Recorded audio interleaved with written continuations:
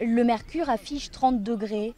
Après deux mois de confinement, difficile de résister à l'appel du grand bain. Ça fait du bien de prendre l'air, ni plus ni moins quoi. Et euh, on voit qu'il n'y a pas trop de monde, donc c'est cool. On n'a pas l'avantage d'avoir une piscine chez nous, peut-être pour euh, d'autres personnes ici. Et donc du coup, on vient ici pour profiter de l'eau qui est à une bonne température. Une eau rafraîchissante, mais strictement interdite à la baignade. Ce lac n'étant pas surveillé, il est simplement autorisé d'y patauger.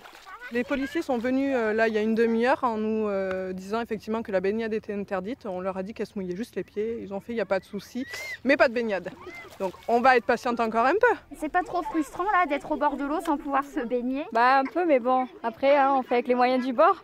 On a déjà la chance d'avoir ça à côté de chez nous aussi.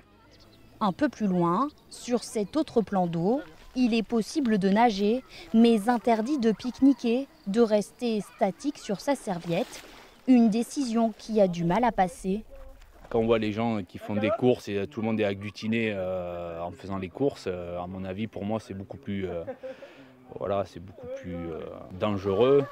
Pour veiller au respect de ces directives, les gendarmes patrouillent aux abords des lacs et des étangs du département.